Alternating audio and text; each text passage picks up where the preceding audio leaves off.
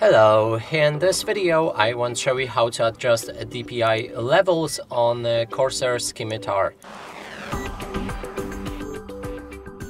To do this, first you will need to enter the ICUE app on your PC.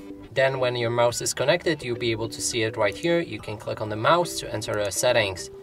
Inside there's a DPI and here you'll be able to see all of the stages. You can adjust it using those sliders.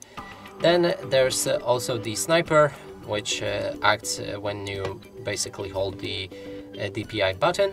And also to remove any stages or to add them, you can click on those three dots, then disable, and it should be removed from the stages available. Now to change your DPI level on the mouse, you can uh, press on uh, these two buttons and uh, it should switch between different stages. So actually not the two of them, just the button right here. And that's it for this video. Hope you like it. Please consider subscribing to our channel, leave a like and a comment below.